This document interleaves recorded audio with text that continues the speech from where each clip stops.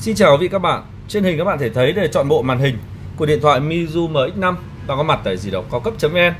Khi quý vị các bạn gặp có lỗi sự cố liên quan đến màn hình, màn hình cảm ứng của Mizu MX5 lỗi hỏng, màn hình không lên, lên chập chờn lúc lúc không. Quý vị cần một địa chỉ thay mới màn hình Mizu MX5 thì di động cao cấp.vn đang là địa chỉ cung cấp tất cả các linh kiện của điện thoại Mizu MX5 nói chung và màn hình, màn hình cảm ứng của Mizu MX5 nói riêng thay mới quý vị các bạn nhanh chóng, an toàn và tiện lợi.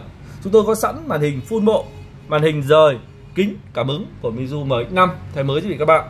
Thông tin cụ thể hơn, chi tiết hơn về dịch vụ sửa chữa thay mới màn hình, màn hình cảm ứng của Mizu MX5. Quý vị các bạn vui lòng liên hệ 024 66 750 99 hoặc truy cập trực tiếp vào website www di động cao cấp.vn.